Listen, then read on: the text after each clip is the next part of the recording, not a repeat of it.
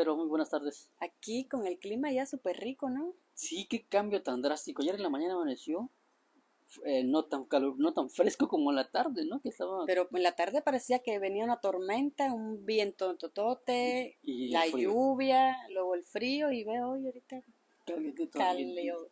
Correr a la panadería y el cafecito. y- Así, así es. es. Oye, pero fíjate que lo que acontece en política, ¿te has dado cuenta que en los últimos años, en los últimos, cómo ha avanzado el Partido Verde Ecologista Mexicano? El que está ahora al frente, Jorge Emilio González. Pues sí, eh, ha preparado todo un terreno y una telaraña para ir subiendo políticamente, ¿no? Sí, y todo parece indicar que se está apropiando de Quintana Roo. Pues ya por lo menos tiene Benito Juárez en sus manos y está trabajando para que sea todo el Estado. Sí, porque imagínate, si Mara Lezama ganara la, ganara la gubernatura, recordemos que Cancún está en poder del verde y quedaría Ana Patricia Peralta, si no mal recuerdo, quedaría, quedaría, y es uno de los polos turísticos más sí, importantes por- de América Latina, donde se genera una buena parte de los recursos para en México, ¿no? Así es. Imagínate ya teniendo la gubernatura y teniendo uno de los polos Uno de los municipios,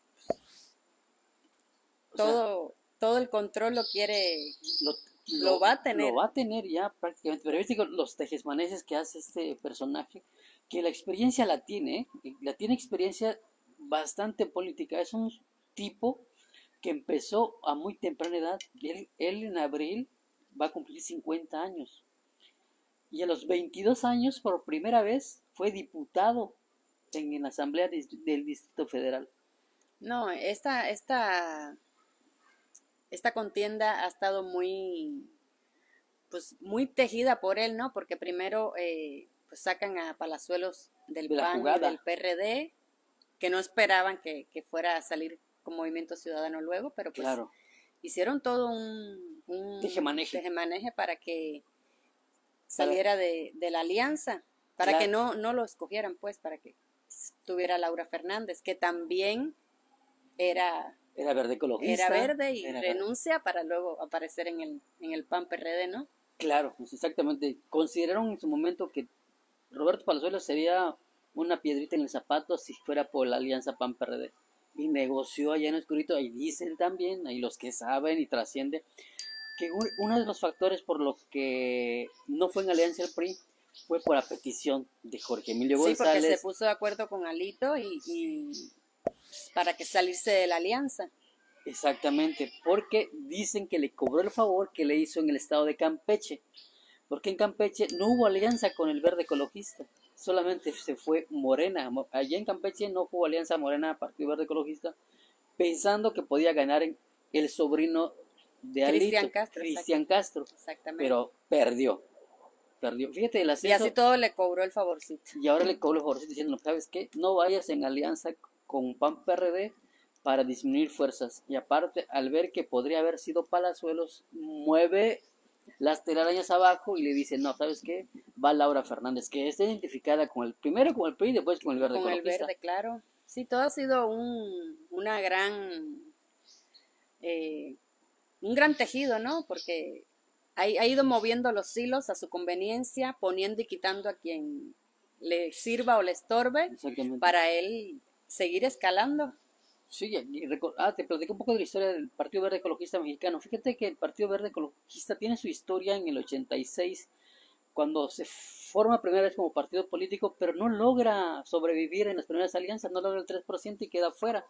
En, pues, se vuelve a fundar, hicieron algunos cambios y en el 91 empieza otra vez de nuevo a formarse. En ese entonces con el apoyo del presidente de la República, Carlos Salinas de Gortari, que manda a dicen los que saben, a Manuel Camacho Solís y a, Manuel, y a Ebrard para que ayudaran a, a González, al, papá de Jorge Emilio, al- a la familia González, para que apuntalaran al Partido Verde Ecologista, que inmediatamente en- toma fuerza y se convierte en la cuarta fuerza política de. México. Así es, así es. Y fíjate cómo va, va tejiendo en política, porque en el 2000 se hace la alianza con el partido PAN, cuando compite con, en las elecciones presidenciales teniendo eh, a Vicente Fox como abanderado y logran ganar con alianza con el Partido Verde Ecologista. Exacto, desde ese, desde ese punto viene él hilando, hilando, hilando, hilando, para finalmente pues, seguir creciendo. Y, ahora su meta Quintana Roo. Pues claro, porque aquí va a tener ingresos millonarios. Sí, porque él siempre ha tejido la... Él lleva la... De la mano lleva la política y de la otra mano lleva los negocios. Recordemos un escandalazo en el 2002 cuando se filtró un video donde estaba pidiendo dos millones de dólares para que liberara unos terrenos que estaban protegidos en aquel entonces por, por tener flora y fauna para que le dieran unos empresarios y pudieran construir. En el 2002 estaba gobernando el Partido Verde Ecologista aquí en Quintana, aquí en Cancún, perdón, con el entonces alcalde García Salvidea el Chacho. Mm. Pero hay otros escándalos del Niño Verde. Se le descubrieron ese, ese dos millones de dólares pidiendo y luego la, una búlgara que se murió, que dicen los que saben que fue arrojada en su departamento, ah, murió y un escándalo. Es una larga trayectoria oscura y, y, nada transparente y así va a seguir, así va a seguir. O sea, lo que está buscando es poder y dinero. Y eso solamente haciendo cosas en lo oscurito lo consigue. En, la, y como bien dices, en política se hace, hacen tantas cosas que una de ellas es apropiarse de Quintana Roo y parece que lo está logrando.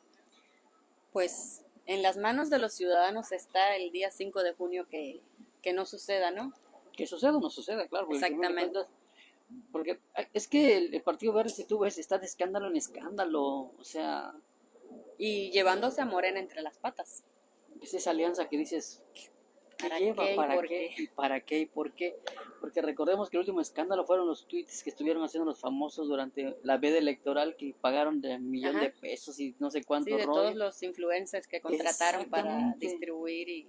Y luego causó mucha molestia en aquel entonces con los animales que había en los circos y desaparecieron los, los animales en los circos y los animales se acabaron muriendo allí desolados y en abandono. Pues sí. Pues a ver qué pasa, Sergio. A ver qué pasa con el Partido Verde. Lo que sí es un hecho que se está apropiando de Quintana Roo. Veamos donde lo veamos. Pues a ver, ojalá y, despertemos, ¿no? Y no sigamos a ver, metiéndonos en esta telaraña. Al final de cuentas, digo, el, el, ciudadano tiene el poder que va a ser el 5 de junio y va a elegir lo que ellos deciden. Así es. Verónica Núñez. Y Sergio Masté. Para Cancún Channel. Y Contrapunto Noticias. Aquí síganos en nuestras redes sociales para que se mantenga informado de todo lo que va aconteciendo minuto a minuto en esta contienda 2022. Por cierto, hoy en la noche toma protesta ya Leslie Hendrix Rubio, perdón, ya como candidata del PRI a la gubernatura de Quintana Roo. Es un evento que va a ser alrededor de las 5 o 6 de la tarde en la ciudad de Chetumal, en la explanada del PRI. Pues ahora sí, ya con todo. Ya, ya una vez que tenga ya la candidatura, va a empezar a trabajar con todo, ¿no? Nosotros amigos de Cancún Channel vamos a estar pendientes y le vamos a llevar información. Estamos, hasta la próxima. Hasta la próxima. Diablo, ¿pago?